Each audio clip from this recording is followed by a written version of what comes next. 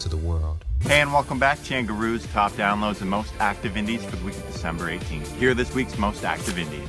At number 10, it's JoJo Mason with Edge of the Night. Jess Moskaluke's at number 9 with Thank God for Christmas. At number 8, it's Ivan Daines with Why I Wrote This Song for You. Hunter Brothers at number 7 with Joy to the World. At number 6 it's Jenna Nation with Forever. Jess Moskaluke featuring the Lovelocks at number 5 with Oh Holy Night.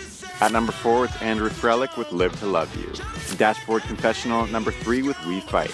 At number 2, it's Breakfast N Vegas, Bad Bunny and Messiah featuring Tory Lanez and DJ Yonny with Give It Up. And the number 1 most active indie of the week is Sam Coffey and the Iron Lungs with Tough. Starting next year, they'll be touring all across Canada alongside the Sheepdog. Mm-hmm. They just put out a new video performing a rendition of the holiday tune Baby Please Come Home. At number 10, it's BTS with Mic Drop. Ed Sheeran and Beyonce at number 9 with Perfect. At number 8, it's Cheat Codes featuring Fetty Wap and CVBZ with Feels Great. Eminem featuring Beyonce at number 7 with Walk on Water. At number 6, it's Seal and Frank Sinatra with Santa Claus is Coming to Town. Marianas Trench at number 5 with Rhythm of Your Heart.